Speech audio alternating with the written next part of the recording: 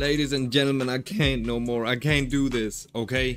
I'm from Denmark. Now, if you're new on the channel, I don't live in Denmark. I live in Austria. But I'm from Denmark, born and raised, okay? It's 86 degrees. It's 86 degrees Fahrenheit, 30 degrees Celsius, wherever you're from. That's warm. I'm a Viking. I'm a Norseman. I cannot...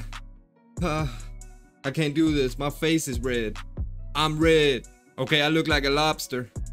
You know I always have the head on. I can't even put the head on. It's too, it's too warm. It's too warm. We can't keep doing this. We can't keep doing this, man. Like, we got uh, 76 degrees Fahrenheit. That's... That's perfect. 77 maybe. That's amazing. That's a Danish summer. But this is too much, man. Ladies and gentlemen, I've never been more serious when I've said go get yourself something to drink. And sit back, relax, and let's react because we got Mr. Beast Mode on the track. Not on the track. He's not about to rap. I don't think so, at least. But, man, bro, if you don't get off my screen, y'all can't see that, but it says my virus something something expired. Gotta get that redone. Re I don't even know, man. It's too warm. Let's get straight into the video. This is Mr. Beast. We gave every family in a village a full year's salary. Let's go, ladies and gentlemen. Let's react. This is a thousand dollars in cash. And Yeah. if you suddenly came across this kind of money, no strings attached, what would you spend it on? I'll tell you, Mr. Beast. Air condition. Oh, I just realized. Wait, I forgot. I forgot to turn the lights on. See, my mind, my brain don't work. I've been fried. Wait. There we go. I don't even know if it made a difference, but like, yeah, I, I'd spend it on air condition, Mr. Beast. Call me a bad human being. That's what I would do. I'll go get it right now. I will stop this re. I will stop this reaction and go get it right now. Please send help. Send help, ladies and gentlemen. They are put on display so that we can. No strings attached. Let's see. What would you spend it on? They are put on display so that we can choose the clothing we need and want.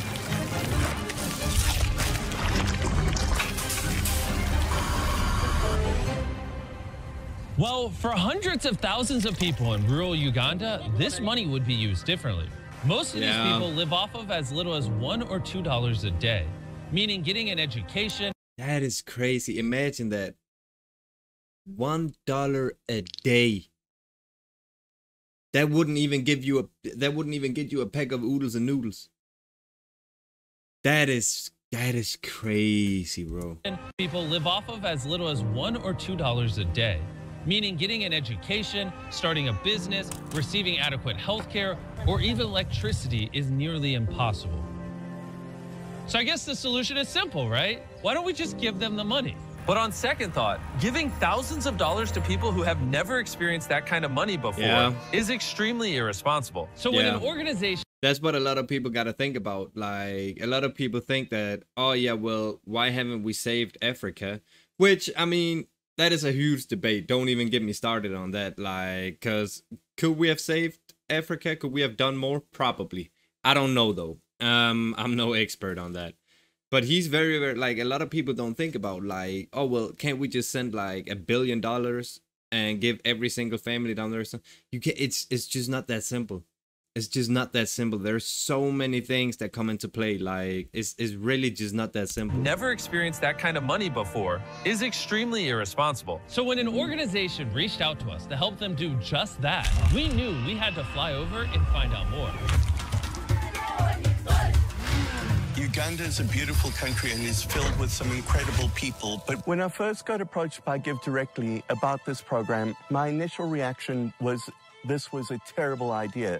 I thought that giving an entire year's worth of income to people that were living in extreme poverty sounded like it was a recipe for disaster.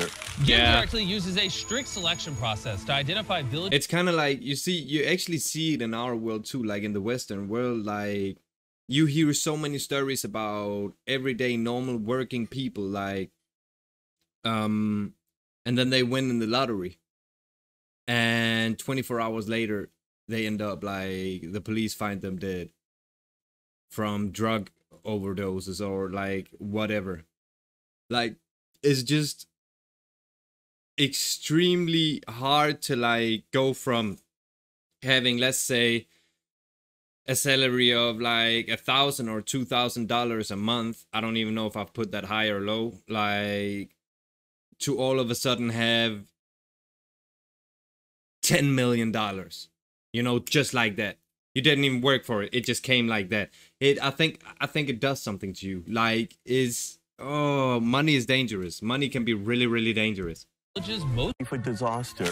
Give Directly uses a strict selection process to identify villages most in need and signs up every single family. Okay. They then provide the recipients with a mobile phone and they create a unique PIN number. The money is then sent to their SIM card so they can transact directly or go to a nearby outlet and use their PIN to withdraw cash from a mobile money agent. The limited work opportunities in the community has made it extremely difficult for the villagers to support their families. One of these Yeah. people is Paul.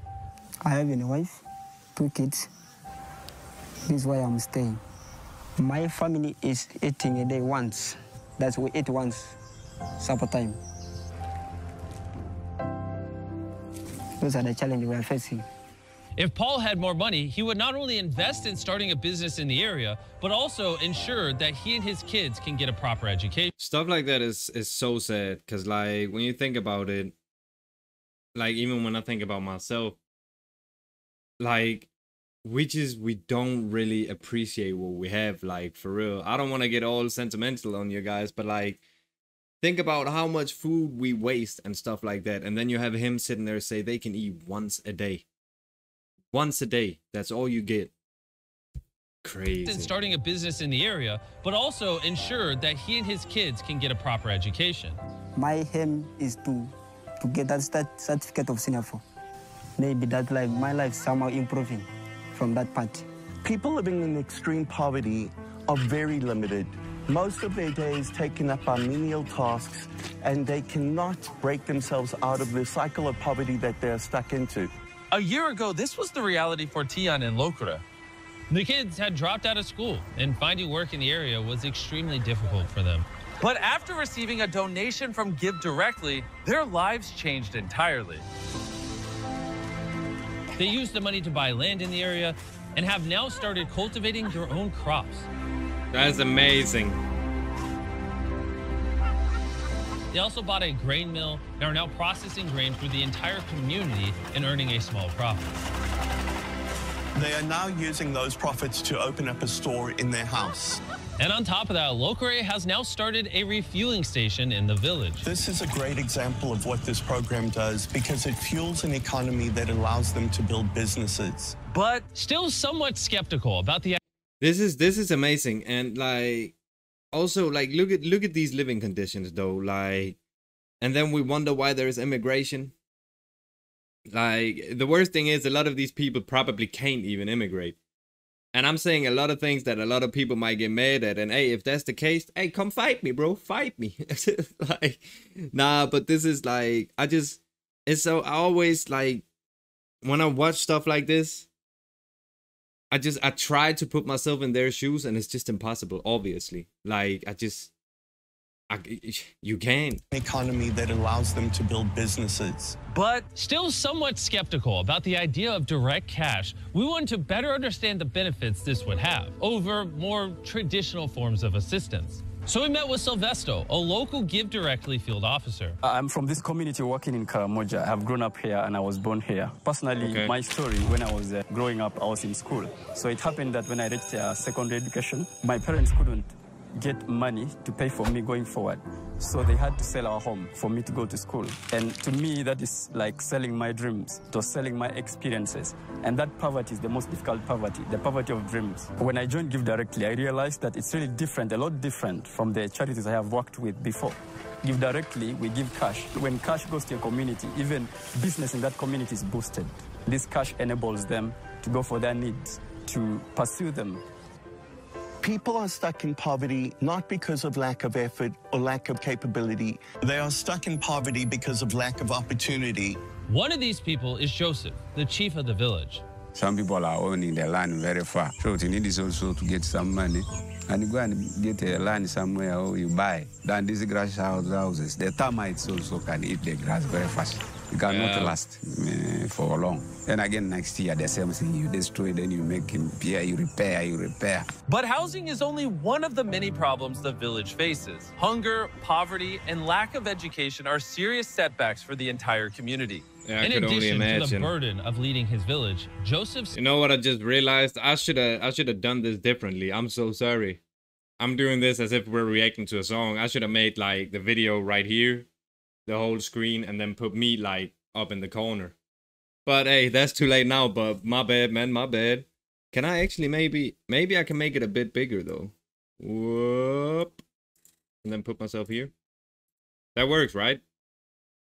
My bad, guys. suffers from serious health complications. Wait, let's go back. In addition to the burden of leading his village, Joseph suffers from serious health complications. A few years ago, he had a stroke, which left him debilitated. And because he has no money, he's unable to buy the medicine he needs to remain stable.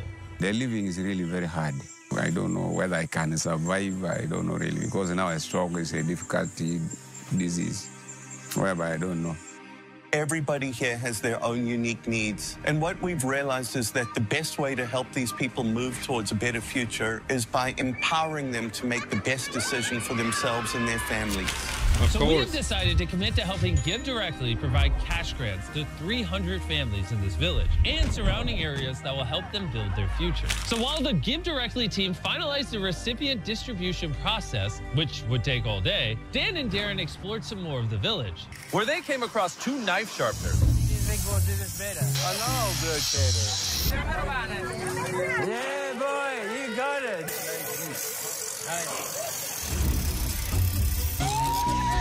That's so cool. I low key.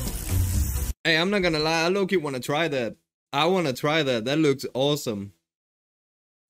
That looks awesome. That awoke like the the Viking within me. I really, really want to try that. That is that is pretty cool.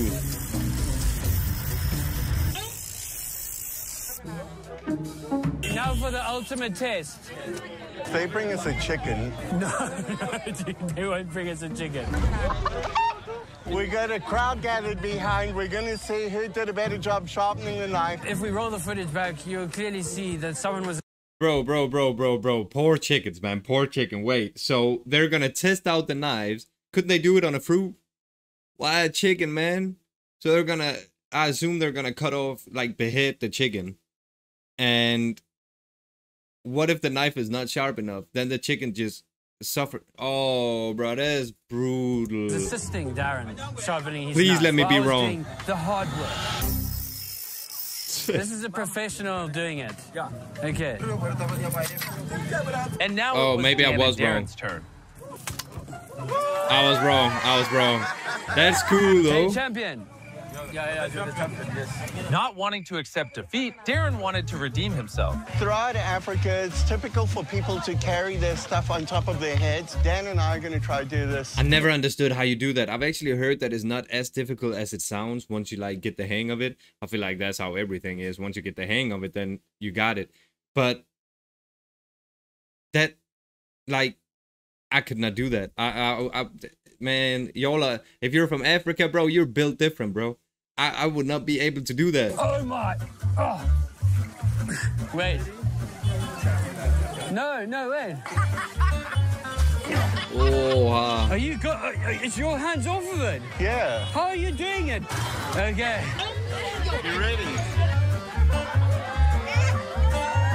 Uh, I won. that would be me. No way. Okay. Darren won that one, but he's back. How are you doing that? I wouldn't be. I, I can't do that neither. I never tried, Early but the I next can't. morning, it was time for the distribution. It's all come down to this moment.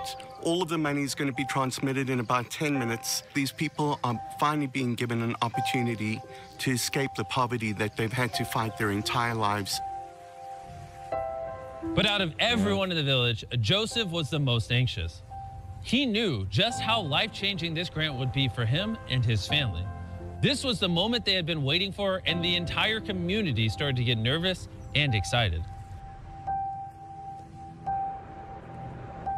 Why nervous? Might be a stupid question, but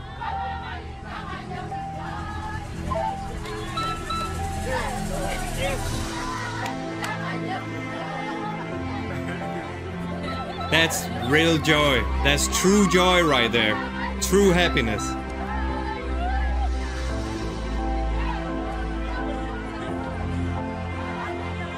If this does not make you if this does not make you feel some type of way like if this just just not like touch you in any way then i'm scared of you such a transformational moment in so many lives. This is opportunity not just for these people, but for their children and the generations that follow. Together with Give Directly, we have been able to change the lives of thousands of people in this village.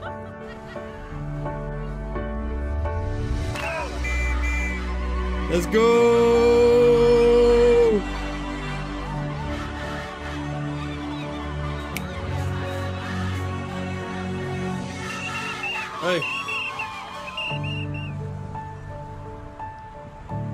getting the text message, it was time for the recipients to cash out the money. For hundreds of years going back, these people have not had opportunity, but now moving forward, they have opportunity. A whole chain in history twisted, and they can now build a stronger future, not just for themselves, but for the generations that follow. And some of them have already started putting it to good use, like Ruth. Ruth is a powerful example of what this money is able to manifest. Before I received this money of Give Direct, I had children of which I was not able to help. I could not afford even medication. I was just a housewife, so life was hard. But despite the odds, Ruth was determined to pursue her dreams with the aid from Give Directly. She was given the opportunity to turn those dreams into reality and set herself and her children on the pathway to a brighter future. She built a store now able to use her entrepreneurial spirit and drive to improve herself, which will in turn improve her community as well. I am able to get up for my family needs. Yo, see, this is this is exactly what she's a clever girl, very very clever girl. This is exactly what you should do when you get a handful of money you didn't expect that you were like you didn't expect to get this money. Now, boy, a lot of these people that get like an unreal amount of money like this like they don't they don't know what to do with it. So they go spend it on stupid stuff you know? You always got to think about you don't know what's going to happen tomorrow. Tomorrow is a new day and anything could happen. Anything good or bad you never know okay? There's only one there's only one i was about to say person i don't want to say person but there's only one being that knows what happens tomorrow and that is god not us so the fact that she took this money, I assume they didn't really say it, but I feel like they're showing it. And she built a store, knowing that, hey, what if this ends? What if, what if all of a sudden they leave and they take this away from us? I'm not saying they would. That's definitely not what I'm saying. But you got to think like that. What if? So she took that money and invested it into a store. Now she has an income no matter what happens. Pretty much. That is that is really really clever, really smart. It's, and right now, life is just simple. It's not like the very way that I lived before. But Ruth isn't the only one who put her money into starting something amazing. Uh, good. Mia Uma, a woman who has dedicated her life to education. After years of grueling work and saving every penny, she finally had enough money to buy land.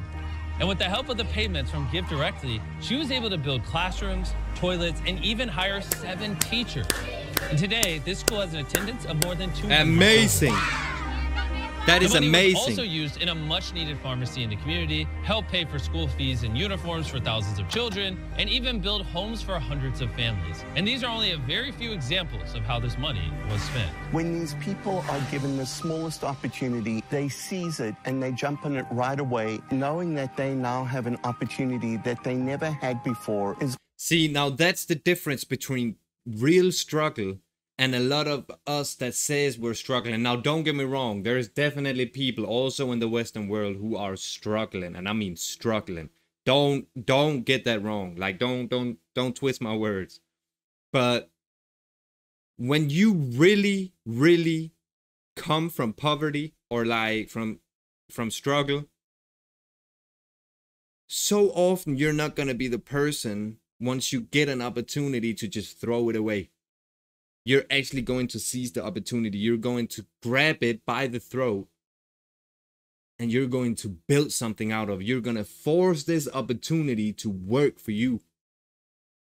that sounded a bit mean, but in a good way. Like you're gonna build something. You're actually going to change your life because you don't ever want to go back to living like you used to live. So now that you have an opportunity, you're actually going to do something about it. Then you have the people that say that they come from all of this, but when it really comes down to it, they actually had a pretty decent life. Now they have this money. A lot of those people will end up worse than they were before because they're just going to go spend it on stupid stuff drugs, cars, all of that type of gambling. Like, I'm not saying you can't treat yourself, don't do drugs.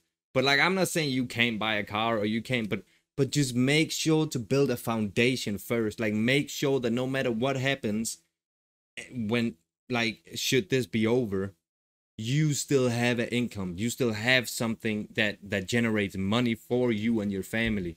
Please. Probably one of the most inspiring and motivating things that I've ever experienced in my life. I could imagine. To round off the trip, Darren visited one more school, which with Give Directly's contribution was able to go from 650 students to over 980 in one week because their parents could now pay school fees and buy uniforms. Little children, little, little children, obey your parents.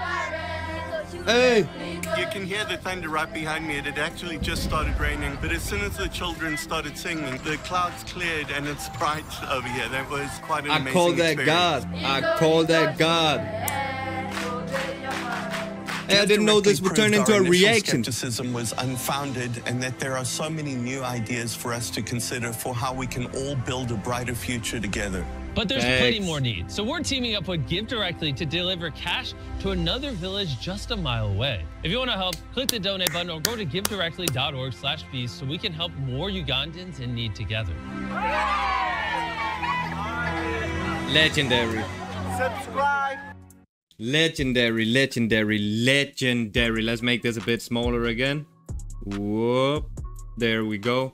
Legendary. Mr. Beast, thank you for everything that you're doing. You're providing amazing content, entertainment, and not only that, you are doing something extremely good for this world, whether it's helping people in need, whether it's planting trees. Like, bro, you are really, really doing an amazing job. And I salute you for that, my brother. Hey, thank you so much for watching this. Don't worry, by the way, I forgot to say it in the beginning of the video. More music reactions is coming. There's just not been that many new like songs released, so don't worry. I got a ton of stuff coming for you guys. Don't think that we're done with the music. I can't like, bro, y'all are crazy, man. Y'all are y'all are actually crazy. Like I can't I can't just take one day off and and like and react to like something like this without y'all going crazy. Now with the one day off type thing, see that's why I salute you. That's why we're a family. That's why you're my brother or my sister. Cause you don't allow that I go and and just slag. You know, like that I just uh, you don't allow that. I can't do that because of you guys. This is like a unique community that we have right there. Like this is more than just like you watching me. We we're a family. I will get a slap by my community, by the Happy Gang, if I don't do what I need to do. That's 100% sure, like certain. Now, ladies and gentlemen, if you did enjoy this and you're not a part of the Happy Gang, all you gotta do is click that little like yellow square right there. Then you're subscribed, and that's all you had to do. Thank you so much for watching this, man. I'm out. Yeah, yeah. Put up, I don't hang with rats. That's some new type shit.